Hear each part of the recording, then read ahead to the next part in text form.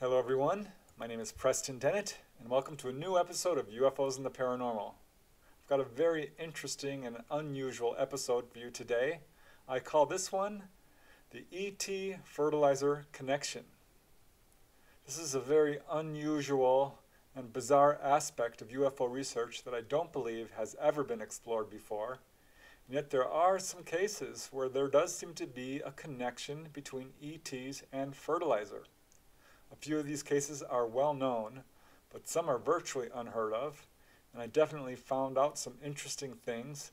And because this hasn't received really any attention, I thought this would be a great topic for an episode on this show. So let's just get started. And the first case I want to talk about is probably one you've heard before.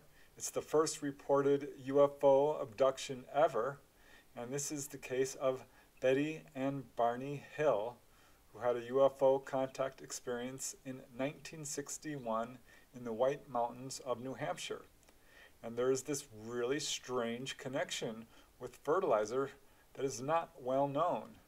So that's why I wanted to really dig deeper into this, because this was the first case that really reported this bizarre connection.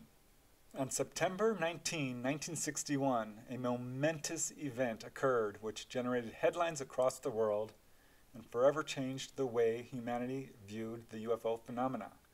And this is, of course, the case of Betty and Barney Hill, who experienced two hours of missing time while driving through the White Mountains of New Hampshire. In the days and weeks that followed, they became increasingly concerned about the missing time aspect of their encounter. Betty was having dreams about being taken on board, and Barney himself was suffering from anxiety, and his condition of hypertension and his stomach ulcers both worsened, and there was various bits of evidence that proved that they had had more than just a sighting.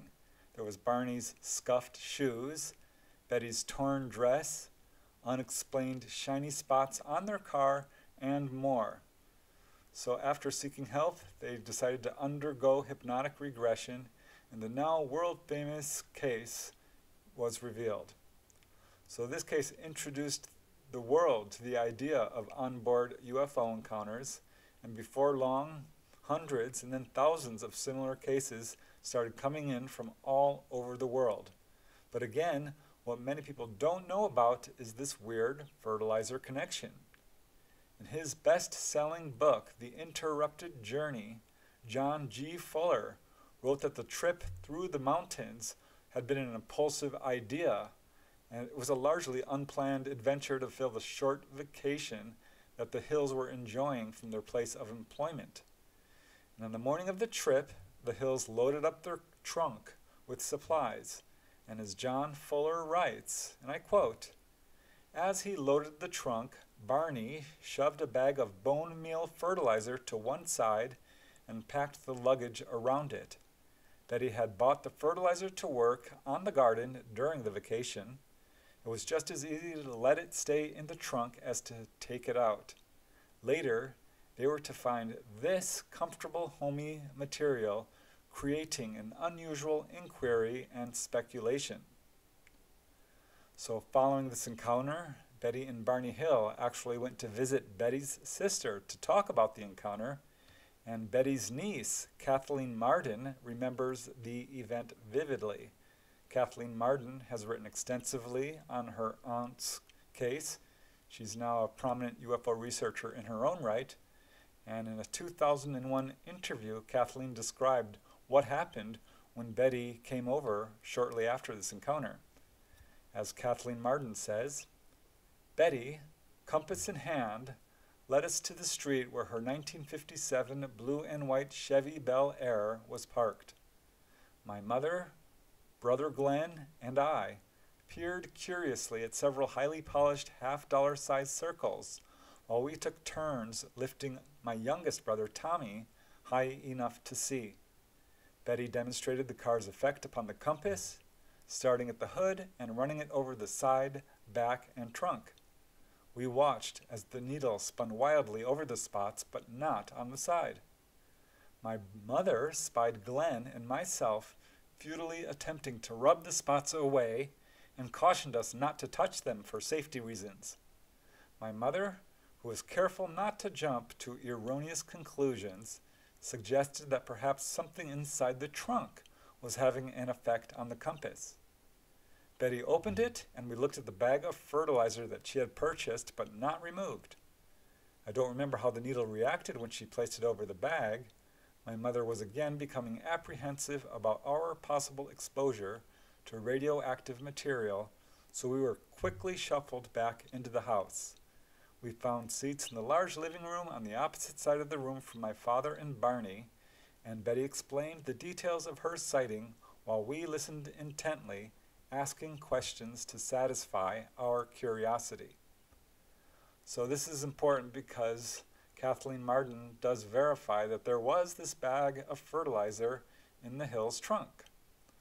So the Hills encounter, of course, attracted the attention of numerous researchers and scientists who were studying the UFO phenomenon, and among them were Robert Hohman, a science writer, and C.D. Jackson, a senior engineer. These were both UFO researchers who were among the first to talk to the Hills, and they were hoping to obtain new insights into UFOs and their possible extraterrestrial origins. So these two men, Hohman and Jackson, questioned the Hills extensively and were particularly impressed by the missing time aspect of their story, and it appeared to Betty and Barney Hill that the men were familiar with other such encounters, and they questioned them about every aspect of their UFO experience, but it was one particular question which caught both Betty and Barney by surprise. John Fuller writes about this in his book, and I'm quoting John Fuller here, as he says, Hohman and Jackson inquired about many facets in the case that puzzled Barney, particularly an inquiry as to whether there were any nitrates or nitrate derivatives in the Hills car. The only thing I could think of that possibly had some connection with nitrates, Barney later said, was gunpowder. I did have about a dozen shotgun shells in the car left over from a trip to the south when I had practiced shooting at tin cans on my uncle's farm, but aside from that, I couldn't think of anything. The reason they were asking, they said, was that in several close encounters, the people had been in rural areas where they were exposed to nitrates or nitrate fertilizer. Then it hit us. Betty had left the bone meal fertilizer in the trunk before the trip, and I hadn't bothered to take it out. Now, who knows? Maybe it does have significance, maybe it doesn't. It was interesting that they should bring it up when we had forgotten all about it. And they asked a lot of other questions that started me thinking. Questions like Did we have anything new in the car? Any new object and had it disappeared? There had been reports, apparently, of people having close sightings and something they had recently purchased had disappeared. They asked if anything had disappeared out of our car, but this was two months later, and we had a lot of junk in there, and I couldn't remember. Although Betty didn't realize it at the time, she did in fact have something disappear. She had been wearing earrings at the time of her encounter, and after her encounter they were missing. This was a fact she wasn't aware of until the earrings reappeared mysteriously inside a pile of leaves on the kitchen table. This was actually shortly after the visit with Hohman and Jackson that the earrings reappeared. The house was unoccupied at the time, so Betty had no idea how these earrings could have reappeared. But like Barney, Betty was really puzzled by Hohman and Jackson's question about nitrates. As Betty says, and I quote, their questions were so far out that I just couldn't see what relationship they had to our experience and this business of nitrates. At that time, I had all kinds of plants in the house. In fact, in the living room, I had an avocado tree that touched the ceiling. They walked around, looked my plants over, and asked me what kind of fertilizer, fertilizer I used on them and things like this. So, in their book on the Hills case, Stanton Friedman and Kathleen Marden write about the possible fertilizer connection. As they write, he, meaning Hohman, asked Barney if he or anyone in his family had any association with the nitrates industry. The unexpected, out of context question elicited, elicited a response of mild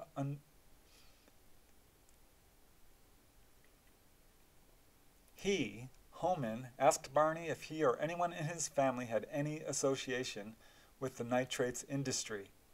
The unexpected, out of context question elicited a response of mild annoyance in Betty. Then she realized she did have nitrates in the trunk of her car, a bag of fertilizer. Betty wondered why the occupant of an extraterrestrial craft would be drawn to nitrates. During her lifetime, this question was never satisfactorily answered. So this remains the question. Could the presence of fertilizer have been a factor? Because it's clear that Hohman and Jackson thought there might be a connection and that they had uncovered previous cases which apparently did have this connection. So as you can see, this connection in that case certainly has not been fully verified, but there are other cases. And there's another case I'd like to talk about that is pretty well known. You may have heard of it. This occurred in Tioga City in New York, actually in a smaller area outside of Tioga called Newark Valley. And the main witness in this case is a dairy farmer by the name of Gary T. Wilcox. And he had an encounter with a landed UFO, and occupants actually talked to them for almost two hours. And yes, there's a very strong fertilizer connection in this case. At 10 a.m. on April 24, 1964, Tioga City dairy farmer Gary T. Wilcox was spread, spreading fertilizer in his fields in Newark Valley. As he approached one of the fields, which was surrounded on three sides by trees, he was startled to see a large metallic object sitting in the center of the field and for a second he thought it was an old refrigerator, but as he approached, he saw that the shape was wrong. He thought it might be a fuel tank that had fallen from a plane, but as he got even closer, he could see it was a large egg shaped object, 20 feet long and 16 feet wide. He said it was made of shiny metal, metal and had no apparent windows or doors, but suddenly, however, two small male humanoids appeared standing next to the craft. They were dressed in seamless uniforms with hoods that covered even their faces, and each was carrying a tray that was heaped full of earth that had been apparently removed from Gary's field. So as he approached, one of these figures looked up and spoke in flawless English, informing them to have no fear. They said that they were actually from the planet we call Mars, and that they had already contacted several other people uh, Wilcox thought for a second there that somebody was playing a joke on him, but these figures proceeded to ask him all kinds, kinds of questions. They actually gave him a prediction that a U.S. astronaut would die. This turned out to come true. Uh, but they appeared to be interested in the fertilizer that Wilcox was spe- spreading throughout the field and asked him how it affected the growth of plants. And they said that they got their nourishment from the atmosphere. And they then asked if Wilcox would give them a bag of fertilizer. And he agreed. And he actually turned to go retrieve the fertilizer. And as he left, the craft suddenly took off. So he returned with a bag of fertilizer anyway, which he left in the field. And when he checked the next day, it was gone. So he knew that this was an unusual experience. It was pretty clear to him that this was not military, and he felt it was his duty to notify the police, which he did. And seeing that he was sincere, the police referred him to UFO researchers, and before long his case began to generate considerable interest. And when Betty, Betty and Barney Hill were discovered to have had a bag of fertilizer in their car, this was more uh, possible evidence of a fertilizer connection. So Gary Wilcox was extensively interviewed by researchers and no inconsistencies could be found in his case. And as Gary Wilcox says in an interview, I don't care whether anyone believes me or not. It doesn't mean anything to me one way or the other. I told them, the police, what I saw and heard, and I thought I should. And in another interview, when he was asked what he thought of people who didn't believe his story, he said, I know what I saw. We talked for two hours, and we were even joking at times. I just don't worry about it. I've got nothing to hide, and if I saw another one today, I would report it. So, despite the bizarre aspects of this case, by all indications, it's true. And in fact, Gary Wilcox's brother, Floyd, was interviewed as a character witness and said of his brother, If Gary says this thing happened, it really happened. He has nothing to gain and a lot to lose by telling a story like this. I know it to be true. And in fact, researchers interviewed Gary's neighbors, who all said he was an upstanding citizen. Researcher Marcus Lowth has looked into this case, uh, particularly the fertilizer connection, and as he says, and I quote, it is perhaps the most mundane aspects of this encounter, as is often the case, that provide it with the authenticity that appears to envelop this particular incident. An encounter that would very much appear to be a cosmic reconnaissance mission, one to gather information about organic materials of planet Earth, as well as the intricacies and knowledge of farming and rules of agriculture. The encounter of Gary Wilcox is certainly one of the most intriguing of its era. So again, further confirmation of Wilcox's case is the fact that the prediction given to him regarding the death of an astronaut did come true. And despite the bizarre elements of this case, it's considered a classic. Gary actually said that there were certain details he was not going to reveal because they were too personal or too sensitive, and that he was going to be investigated by the Air Force. And what I'd like to do is play a small clip, a short clip, of an interview this farmer, Gary Wilcox, did.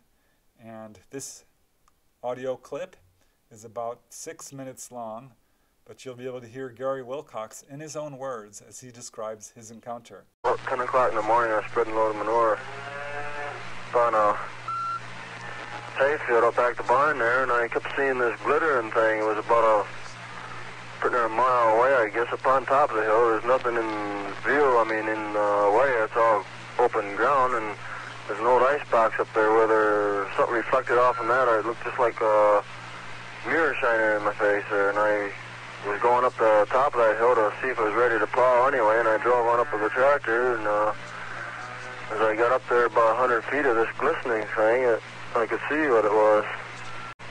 Oh, it was well, I got 100, 200 yards from it there, and I couldn't see nothing. There wasn't no shining or nothing. But as I went closer, I got almost within 100 feet before I saw anything. This is uh, when I took off was about 100 feet, and I couldn't see it. It was gone. I mean, uh, but it looked like a wing tank to me at first. I've seen them when I was in the service quite a bit. Uh, fuel tanks off these planes. It was more egg-shaped than anything. It was about 20 foot long, 15 or 16 foot wide and about 4 foot deep. How close did you get to it? Mm, a couple inches. I was touching it for about two hours. What did the surface look like it was made out of? Oh, aluminum colored, whitish colored. Had a whitish cast to it, but it wasn't bright. It was, it was shiny, but it wasn't real bright. It was just like a dish or some kind of cooking dish, really, about what it was. Now, did a door open before these people came out of it? How did they appear? How did you meet the little men? Well, I don't know. I was feeling everything there, just getting ready to come back down, call the sheriff up, and see if something had fallen off an airplane. But I was kind of wondering too, because it was off the ground. It was about four foot off the ground, and had this idling noise. And uh, I don't know, nothing happened. I was touching it there for a couple of minutes, and I was just getting ready to go, and from underneath it someplace, I don't know, these two things or men or whatever they are came. They're about four foot high. I don't know what they are or what they who they were, but they talked to me for about two hours up there. Do you could perfectly understand them. Yeah, then. they talk better English than you're talking. Uh-huh. Did they talk with any kind of an accent? No, no accent or nothing. I spoke German and Russian when I was in the service, and well, nothing like either one of them. First thing they said was, "Don't be alarmed. We have talked to people before." And they were questioning a how I had seen them and stuff. They were quite concerned. Said I shouldn't have seen them within a hundred feet or so. And then when I told them I saw them way down where I was spreading manure, I was putting them a mile away. They were quite concerned. They said I shouldn't have seen them in the daytime like that. That's why they lay in the daytime. Well, they said that they were traveling this hemisphere. This trip, they were. They had each one had a tray in their hand. A They had it full of grass and stuff. It was side looked like they took the knife and cut it right out of the ground, just a slab of it in each tray. And that's what they were doing. They said collecting organic material and stuff. Where did they say they were from? Well, I mean, this sounds awful silly, I know, but uh, they told me they were from what I know as a planet Mars. Every time they spoke of stuff, they referred it to it as I know, hmm. or as we know here, like as we know Earth, as we know Mars, and stuff like that. You sound like you find it rather hard to believe yourself. Well, I know is I was up there for two hours. I was touching the thing and talking to somebody. I don't know who it was. And you say you talked to them for about two hours. oh, it was probably an hour and a half. I was up there about two hours altogether. Well, they, talk about a lot of stuff. Some of the stuff I can't say anything about. Some of it I can, but uh, uh, they was talking about that people were silly to go into space. That they would never survive there. Just as they can't survive here, they said they can only make a trip out every two years. The two that were here, that they can't stay in this atmosphere. That Earthmen uh, would have even a harder time than they do because they they were telling me they're much farther advanced in this kind of stuff than we are. But they were more interested in agriculture, aspects of agriculture than anything. They asked me what I was doing about the manure and what I was, where I got it and what it did and all that stuff. They didn't know nothing about agriculture. They don't have no organic material or anything like that up there. They said they survive in what they get out of the atmosphere they have. And did They you didn't stress any point. They made a lot of statements like that, but they never stressed the point. They didn't say how they lived or anything like that. did you say that there were other things they told you that you cannot reveal? Know, I mean, Why not? Why can't you reveal these other things? uh, I guess I better not say anything about it. Why? Well, this is being investigated into yet. Who's investigating it? Well, it's supposed to be the Air Force supposed to be coming around, I guess, from what the sheriff says. You can't tell us what they told you? No, I shouldn't, uh, I mean, for my own personal reasons. Hmm Can you give us an indication of what it was? What No, what did it concern? well, concern them being here more than anything. Did these creatures have features like we do on Earth? They have eyes. Well, they were about four foot tall, and they had arms and legs and heads, but where they had features, I would presume so. They just had a complete uniform, covered everything. I mean, Oh. as far as seeing features, you couldn't see anything. The voice come from it, from the front one someplace. I don't know. Couldn't say it come from the head, or couldn't say it come from the stomach, or where. It just could hear the voice come from it someplace. He was about four or five feet away from me. What color were the uniforms? Same color as the ship. Sort of like a spacesuit. Uh, it was the same color. I didn't touch the uniforms, but they looked to me like the same kind of stuff.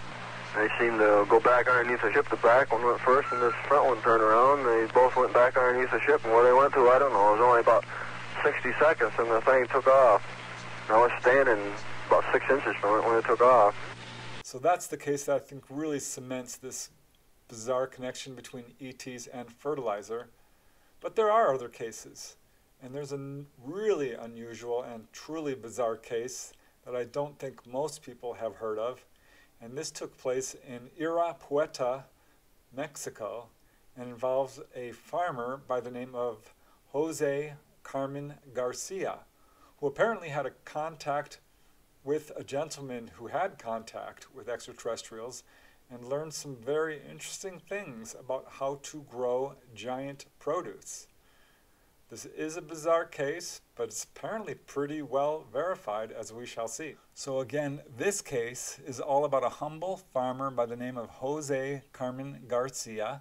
He was born in 1930, and when he was 17 years old, this is 1947, so that's a significant year for UFOs.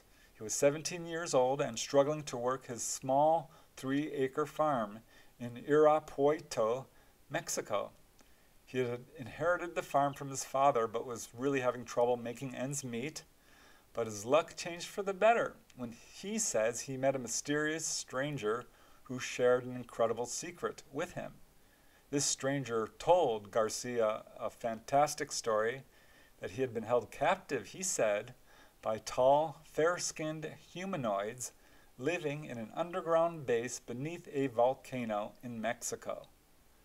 There's definitely a volcano UFO connection, so this is kind of interesting. But according to this stranger, the humanoids nourished themselves from oversized vegetables, and that this stranger was able to obtain a quote, secret formula from the ETs, which after his experience he was able to use to grow vegetables of incredible size. And this stranger actually sketched the formula for Garcia on a scrap of paper. This consisted of strange hieroglyphic symbols. And the stranger told Garcia to basically concentrate on the symbols for a period of time and then, quote, the message would become clear. As the man says, and I quote, concentrate on these writings, and in time you will understand their meaning. It is a magic formula, and by using it, you will feed the world. So strange, yes, but Garcia followed the man's instructions, and to his amazement, this formula actually worked. His farm not only began to flourish, he began to produce giant vegetables. We're talking like 10 pound onions, cabbages 3 feet wide and weighing up to 60 pounds, collard greens up to 5 feet long and 2 feet wide, and more. So Garcia began selling his vegetables at the local market in Valle de Santiago, and not surprisingly, this caused a local sensation. Garcia's fame grew very quickly as the locals gathered to marvel at his supersized produce. And they were interviewed, of course, and they said who the vegetables that they had eaten were actually very tasty and nutritious and Garcia claimed that the incredible growth of his plants was due to this secret formula, and that he used ordinary seeds and no fertilizer at all. So the connection with fertilizer is somewhat tenuous here, but it's the same subject. So I thought it was, you know, deserved in being included here. At any rate, this formula's secret apparently is mostly mental.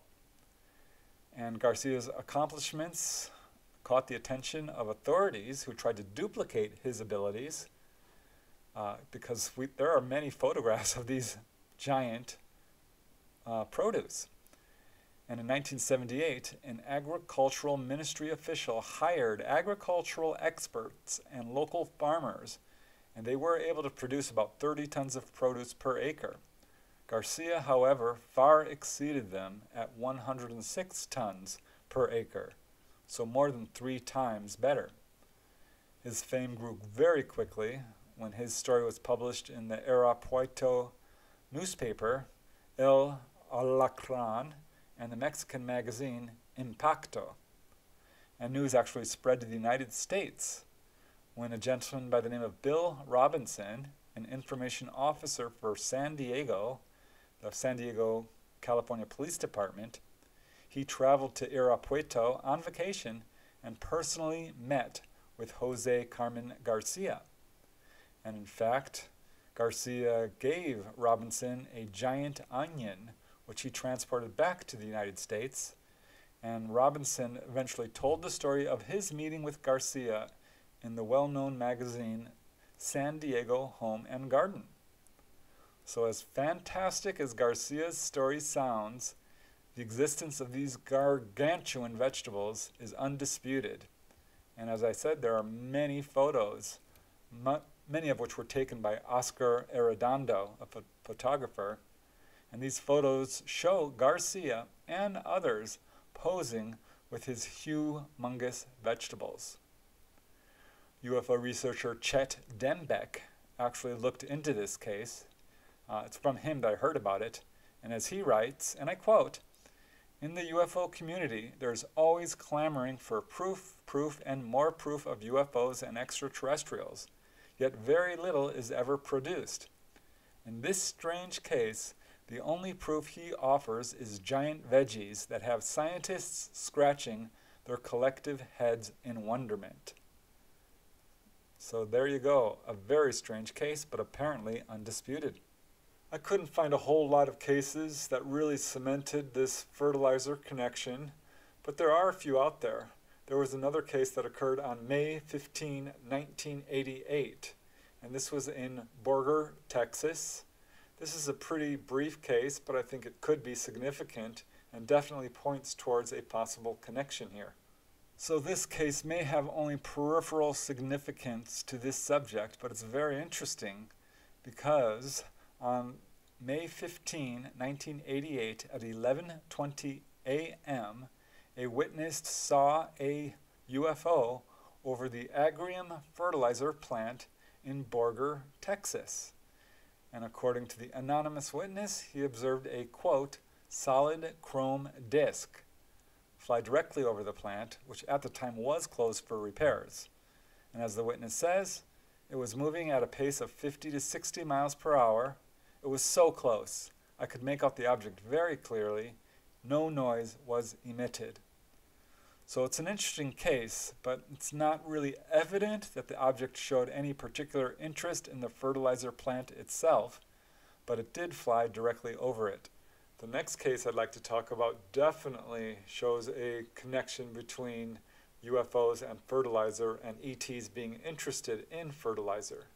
And this took place in Winsted, Connecticut on February 21st, 1968. And this is pretty well verified in that it was researched by major investigators such as Walter Webb, Ted Bloecher, and others. So let's just dive into this case and see what it has to tell us. The main witness in this case is a young girl by the name of Miss Amato. She's 12 years old. And again, this was investigated by Ted Bloecher, David Webb, and Lawrence Fawcett. It occurred on February 21st, 1968, in Winsted, Connecticut. And it all began when Miss Amato heard a strange bloop, bloop, bloop noise outside the window of her home. And her bedroom actually overlooked an abandoned railroad station, which was then being used as a storage site for ammonium nitrate fertilizer. Hovering close to the ground beside the building, Miss Amato saw a white egg shaped object about the size of the family station wagon. And as she watched, this craft emitted a short beam of light at a downward angle, much like a ramp, she said. And at that point, 15 or 20 little men, each about three feet tall, exited the craft via the ramp. They walked in single file and jumped from the end of the beam to the ground, each was dressed in a dull silver jumpsuit and wore a fishbowl type helmet. Miss Amato observed them as they proceeded to climb up the side of the building housing the fertilizer, one after another, using a hand over hand motion, almost as if they had suction cups on their hands. But upon reaching the roof, they spread out in different directions, and these little guys appeared to be looking down inside the building through a skylight. At this point, the witness became frightened by what she was seeing and ran to her bed, hiding under the covers. But the investigators were very much impressed with her testimony, even more so because later that night there was, in fact, another report in Winsted, Connecticut. It was just one hour later, just past midnight, when Ms. Cecilia Brewer and five companions were driving home from work between Winsted and Barkhamsted. Their car engine started to fail, and looking ahead of them, they saw a silver colored domed disk hovering along the left hand side of the highway, just over a forest clearing. They viewed this object from a distance of about 100 feet and observed a cone of white light coming from the bottom. The dome of the object was lined with rectangular windows which emitted a green light. They watched this object for about 15 minutes, at which point it flew away. So this is further confirmation of Amato's encounter, given that it occurred so cl close to her encounter and at pretty much the same time. Another case that points towards ET's interest in fertilizer comes from an anonymous gentleman who posted his sighting to MUFON. and he had an interesting encounter in Lee Summit, Missouri. And after seeing UFOs on more than one occasion in this area, he was curious as to why this area was so active. And so he started to do an investigation and found out some interesting things. So the main witness in this case I call Stan. He is anonymous. But on August 31st, 2014, at 8:15 p.m., he observed a glowing orb near Lee's Summit, Missouri. And as the witness says, and I quote, "From my first observation of it, the light given off was really quite brilliant and more yellowish. The rays which emanated from it also had a peculiar quality that I normally do not see with light. There was a definition to the rays, and they came to a point. So he actually managed to capture the orb on video, and intrigued by this encounter, he began to study reports of orbs looking for patterns. And he did find an interesting pattern. As he says, and I quote, one of the commonalities is that they appear in areas which are rich in phosphorus, such as certain coast water and other waterways which have runoff from fertilizer. Other coincidences of high orb sightings occurred during the 4th of July celebrations due to the phosphorus in fireworks.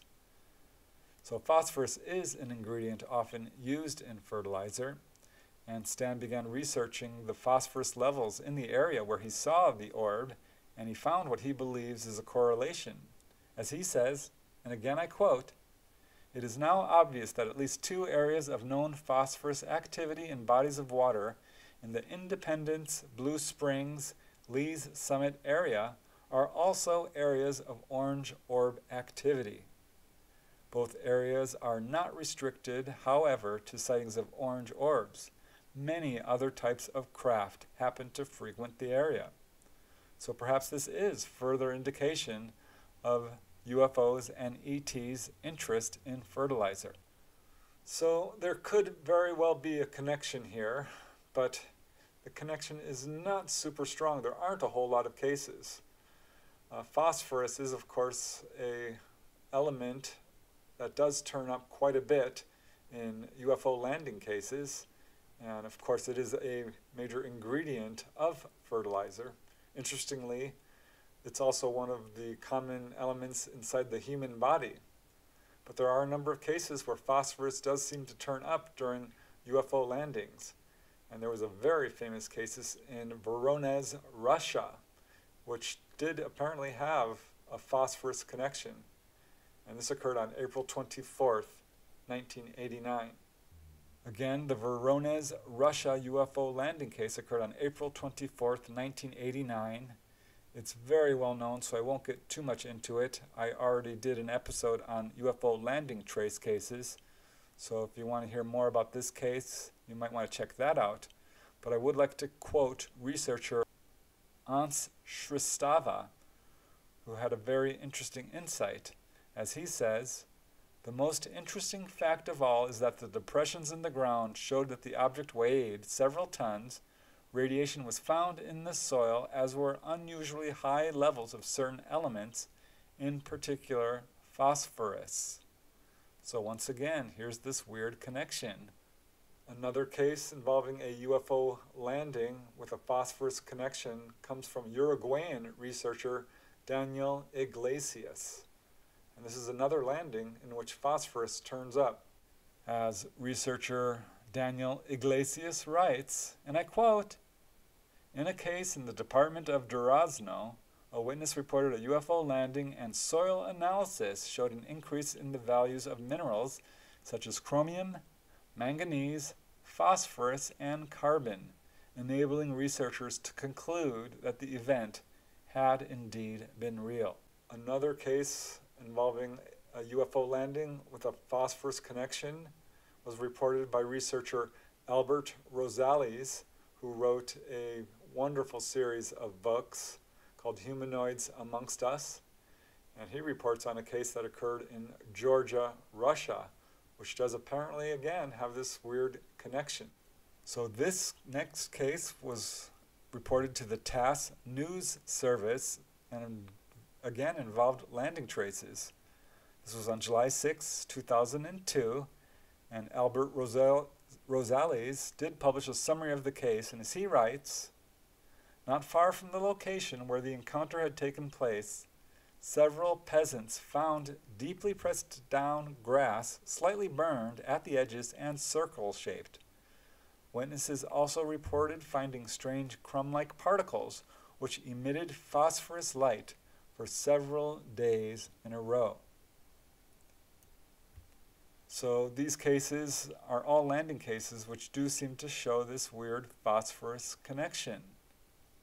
Again, we are really left with more questions than answers, but such is the nature of the UFO phenomenon.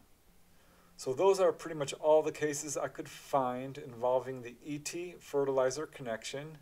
I did write about this in my new book, Not From Here, Volume 4. So if you want to get into a little more depth with these cases and other bizarre aspects of UFO research, you definitely might want to check that out. And uh, yeah, I think this shows an area of UFO research that hasn't been explored. And while there aren't a lot of cases, some definitely seem to point towards ET's interest in fertilizer or agriculture in general. In a previous volume of my Not From Here series, I did a chapter on extraterrestrial gardeners, and there are hundreds upon hundreds of cases where people have seen UFOs and uh, humanoids collecting plant samples. So that could be a connection here. And I will briefly mention that contactee Howard Menger, a sign painter from New Jersey, whose case is quite controversial, but his book, From Outer Space to You, does talk about ET's interest in agriculture and how they are able, able to grow uh, produce.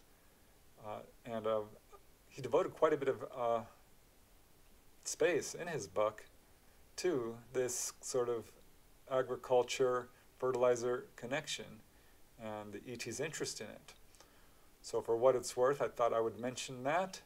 But yeah, there does seem to be a connection, but mm, I'm going to say it's tenuous at best with the thousands upon thousands upon thousands of reports. I was hoping I would find more, but the cases like the Tioga City uh, case in New York definitely show that there's an interest there. Uh, I do wonder about the Betty and Barney Hill case and the others I've cited, but at this point I can't really say for sure that there is a strong connection, but there is definitely some interest on part of the ETs. So that's our show for today. I hope you've enjoyed it. I want to thank you once again for watching. I truly appreciate it. And until next time, keep searching for the truth and more importantly, keep having fun.